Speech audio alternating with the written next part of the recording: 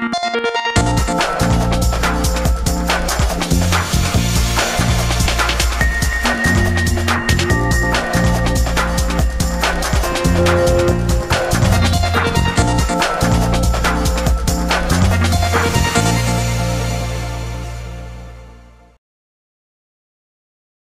Prezydent Strachowic Marek Materek i starosta strachowicki Danuta Krępa 28 lutego podpisali akt notarialny, na mocy którego gmina nieodpłatnie przejęła od Skarbu Państwa blisko 40 hektarów gruntów zlokalizowanych nad Zalewem Lubianka. Przekazanie wymienionych terenów gminie to warunek niezbędny do wykonania rewitalizacji zbiornika Lubianka i jego otoczenia. Szanowni Państwo, ja chciałem serdecznie podziękować Pani Staroście i Zarządowi Powiatu za możliwość podpisania tego porozumienia. Nie wiem, czy Państwo wiecie, ale jeśli nie, to woli wyjaśnienia. E, obejmując e, podczas e, początku kadencji funkcję prezydenta miasta, zastałem taki stan, że decyzja podziałowa dotycząca Lubianki została unieważniona i uznana za błędną, w związku z czym trzeba było całą procedurę rozpocząć od nowa. Została wydzielona woda płynąca, czyli ta rzeka, która znajduje się pod wodą, po to, żeby można było przekazać inne działki na rzecz Skarbu Państwa, na rzecz gminy Starachowice, które są niezbędne do tego, żeby można było wykonać w przyszłości rewitalizację rewitalizację zbiornika wodnego, jego otoczenia i ten projekt, o którym Państwa informowaliśmy, e, na który będziemy zabiegali o środki w ramach Regionalnego Programu Operacyjnego dla Województwa Świętokrzyskiego na rewitalizację tego zbiornika. Bez przekazania przez panią starostę, która reprezentuje Skarb Państwa tych działek, nie mielibyśmy możliwości złożenia wniosku o wykonanie tego zadania. Dlatego to jest y, tak ważne porozumienie. I druga rzecz, która była bardzo newralgiczna i która y, stanowiła pewien spór, który był nierozwiązywalny, dotyczyła samego jazu wodnego. Starosta Starachowicki jako reprezentant Skarbu Państwa ma możliwość ubiegania się o 100% finansowania na remont jazu wodnego z pieniędzy, którymi dysponuje wojewoda świętokrzyski. Gmina Starachowice, gdyby przejęła działkę, na której znajduje się jaz wodny, musiałaby starać się o te środki, ale nigdy nie uzyskałaby 100% e, pieniędzy na ten cel. Dlatego chciałem podziękować, że ponieważ te pieniądze, które zaoszczędzimy w ten sposób, będą mogły być spożytkowane chociażby na wkład własny e, gminy do e, projektu, który będzie składany. To porozumienie to jest uzgodnienie warunków przekazania na rzecz gminy Starachowice w formie darowizny nieruchomości Skarbu Państwa kilku działek położonych pod wodami Lubianki. Łącznie 30, prawie 9 hektarów. Tym porozumieniu y, zawieramy taki punkt, y, w którym mówimy o tym, że y, remont urządzeń hydrologicznych, które znajdują się też na Lubiance, a których w tym momencie nie będziemy gminie przekazywać. Remont leży po stronie powiatu. Ten remont zostanie dokonany i dopiero wówczas w drugim etapie jakby przekażemy y, kolejne działki na rzecz gminy Starachowice.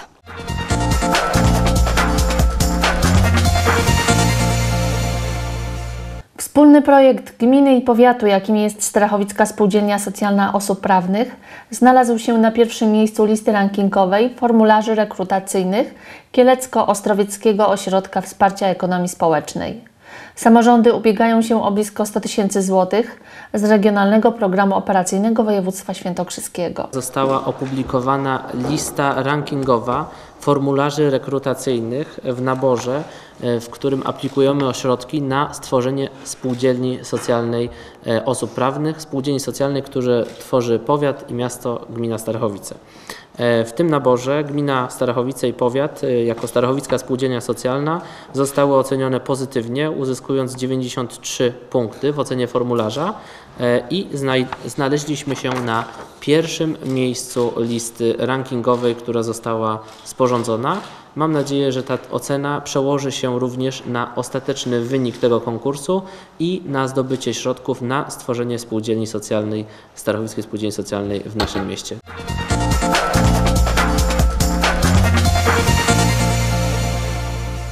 Starachowicki Klub Olimpiad Specjalnych Arka, zgodnie z zapowiedzią prezydenta miasta Marka Materka, powstał w środowiskowym domu samopomocy prowadzonym przez Miejski Ośrodek Pomocy Społecznej w Starachowicach. Prezydent miasta Starachowice w wyniku otwartego konkursu ofert na realizację w 2017 roku zadań gminy o charakterze pożytku publicznego z zakresu kultury, kultury fizycznej i sportu oraz turystyki przyznał dotację dla Świętokrzyskiego Oddziału Regionalnego Olimpiady Specjalne Polska. Jedną z pierwszych próśb, które skierowałem do pana kierownika, było to, żeby powstał w Starachowicach klub olimpiad specjalnych, ponieważ była taka potrzeba.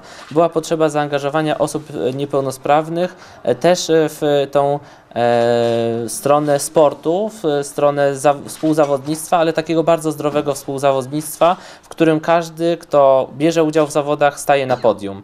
E, I każdy traktuje to tak naprawdę jako zabawę, ale też e, swój trening. I to się udało. Klub Olimpiad Specjalnych w Starachowicach powstał e, w ciągu w bardzo krótkim czasie.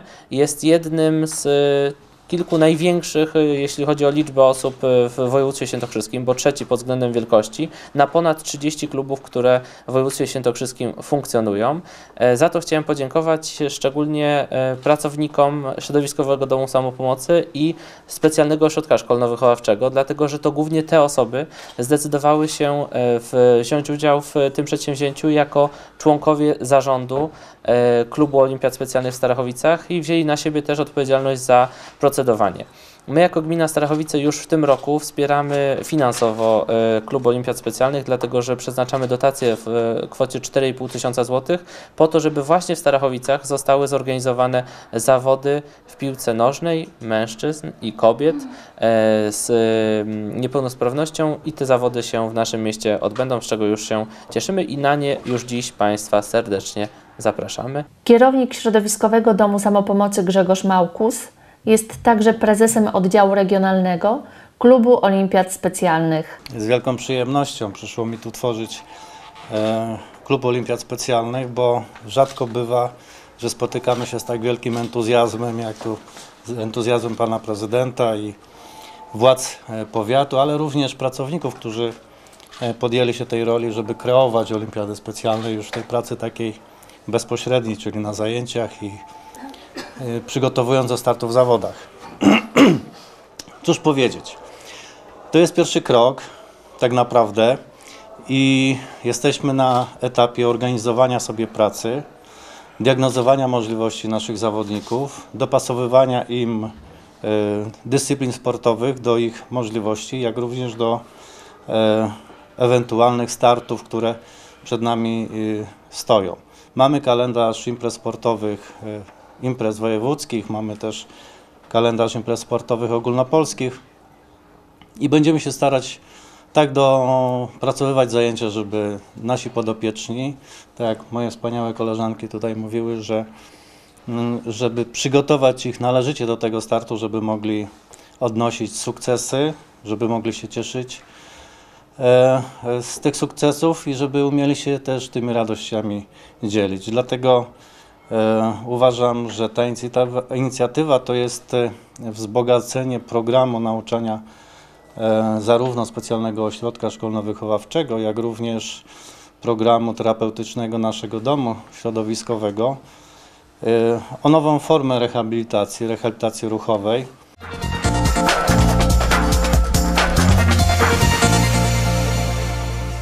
W Agencji Rozwoju Regionalnego w Strachowicach odbyła się konferencja z udziałem marszałka województwa świętokrzyskiego Adama Jarubasa, prezydenta Strachowic Marka Materka oraz samorządowców z regionu świętokrzyskiego. Podczas spotkania miało miejsce uroczyste podpisanie umów na dofinansowanie projektów w ramach poddziałanie 921 Rozwój wysokiej jakości usług społecznych Regionalnego Programu Operacyjnego Województwa Świętokrzyskiego na lata 2014-2020. To w sumie 15 projektów. E, ogólna ich wartość e, opiewa na kwotę 14 milionów złotych, z tego prawie 13 to są środki e, unijne w ramach Europejskiego Funduszu Społecznego. Ważna dziedzina. Generalnie chodzi nam o podniesienie jakości usług społecznych, jeśli chodzi o ten ważny odcinek pomocy rodzinie, pomocy e, jeśli chodzi o osoby zagrożone ubóstwem, wykluczeniem. Wybraliśmy dzisiaj miejsce modelowe e, w Starachowicach. Jest realizowany jeden z e, najciekawszych projektów w tej branży. Powstanie takie Starachowickie Centrum Interwencji Kryzysowej. Pan prezydent Materek pokazał e, obszar, który będzie pokazany, będzie poddany rewitalizacji e, w, ramach e, twardych środków, ale warunkiem dzisiaj e, skutecznej rewitalizacji jest również rewitalizacja społeczna, czyli zapewnienie osobom, które żyją w trudnych warunkach, często w takich e, środowiskach zagrożonych właśnie różnego rodzaju e, dysfunkcjami, właśnie tego wsparcia w postaci terapii, wsparcia psychologicznego, takiego towarzyszenia tym ludziom w trudnych e, dla, dla nich sytuacji. E, Także tutaj w tej, w tej części właśnie wsparcie dotyczy takiego szeroko rozumianego asystowania, jeśli chodzi o e, pomoc specjalistów z rozmaitych dziedzin, ale głównie chodzi o, o pedagogów, o terapeutów, psychologów, którzy interweniują e, w trudnych przypadkach, często ratują e, rodziny, bo, bo rzeczy- rzeczywiście takich, takich przypadków jest dużo. Także e, 15 bardzo ciekawych projektów. E, Są nadal na to pieniądze, bo nie wykorzystaliśmy pełnej, pełnej kwoty, która była e, postawiona do konkursu, także już dzisiaj zapraszamy do e, interesowania się kolejnymi konkursami w tej, w tej dziedzinie. Gmina Strachowice wspólnie z Fundacją Możesz Więcej z uzyskała ponad milion złotych dofinansowania z Regionalnego Programu Operacyjnego Województwa Świętokrzyskiego na lata 2014-2020. Fundusze te zostaną przeznaczone na działania związane z rozwojem wysokiej jakości usług społecznych. Dzięki nim w Strachowicach funkcjonować będzie m.in. świetlica środowiskowa oraz całodobowe punkty zaufania dla osób m.in. zagrożonych ubóstwem i wykluczeniem społecznym. Gmina Strachowice wspólnie z Fundacją Możesz Więcej z Bilczy będzie realizowała projekt związany z tworzeniem Centrum Interwencji Kryzysowej w naszym mieście. To Centrum Interwencji Kryzysowej to nie tylko pomoc psychologiczna, pomoc e, terapeutów, ale przede wszystkim świetlica środowiskowa, która mieści się w samym centrum modelowej rewitalizacji miasta, czyli w Starachowickim Centrum Kultury.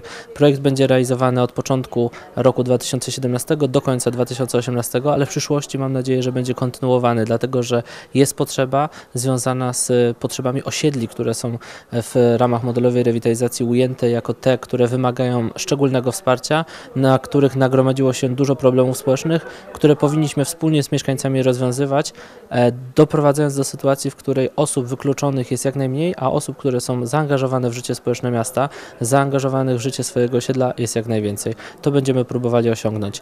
E, Dofinansowanie, które uzyskaliśmy, to jest ponad milion złotych, e, które będzie przeznaczone na realizację tych zadań, które są przewidziane w ramach Centrum Interwencji Kryzysowej.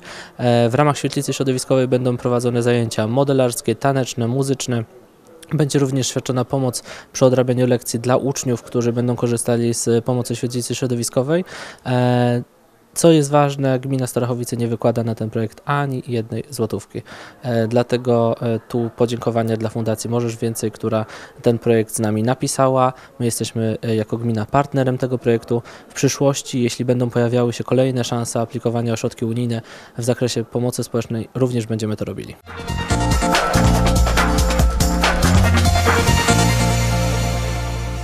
Uroczyste obrady z okazji setnej rocznicy odzyskania praw miejskich przez Wierzbnik i pierwszego posiedzenia Rady Miejskiej odbyły się w sali Olimpia Urzędu Miejskiego w Strachowicach.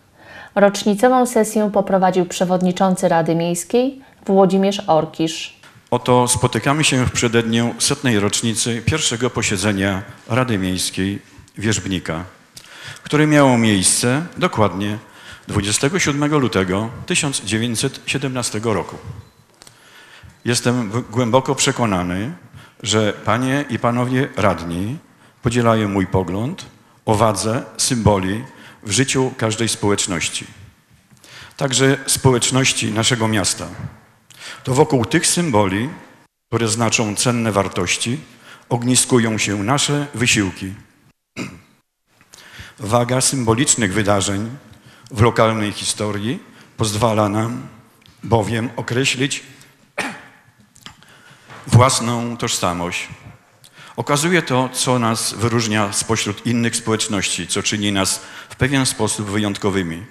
Jedynie społeczności posiadające silną, wykształconą tożsamość miejscem zamieszkania przestają być przygodnym zbiorowiskiem, a stają się świadomym, społecznym społeczeństwem obywatelskim. W podróż w czasie do początków strachowickiej samorządności zabrał uczestników obrad dyrektor Muzeum Przyrody i Techniki Ekomuzeum, wygłaszając okolicznościowy referat, któremu towarzyszyła prezentacja multimedialna. Ale ten rok jest szczególny również z innego powodu. Oto w roku 1657 został wydany akt erekcyjny, czyli akt, który rozpoczął byt, prawny byt naszego miasta. Opat Sierakowski roku 1657 określił aktem erekcyjnym prawa i obowiązki mieszczan wierzbnickich. To specyficzna klamra historyczna, która spina te wszystkie daty, które pozwoliłem sobie zaznaczyć: 1657, 1917, 2017. List gratulacyjny odczytała starosta strachowicki Danuta Szanowni Krępa. Państwo, W tym wyjątkowym dniu życzymy kolejnych lat owocnej działalności, powodzenia w realizacji podjętych inicjatyw i wielu przejawów społecznego uznania. List podpisał z wyrazami szacunku przewodniczący Rady Powiatu pan Tomasz Margula i ja jako starosta Starachowicki. Gratuluję wszystkim Państwu tej rocznicy. Myślę, że jest to też wspaniała okazja do podkreślenia wagi też współpracy Rady Powiatu w Starachowicach z Radą Miejską w Starachowicach. Gratuluję, dziękuję bardzo. Minutą ciszy uczczono pamięć mieszkańców naszego miasta, którzy żyli tu i pracowali na przestrzeni blisko czterech stuleci. Obradom towarzyszyła wystawa Wielka Wojna nad Kamienną, przygotowana przez Muzeum Przyrody i Techniki w 2014 roku.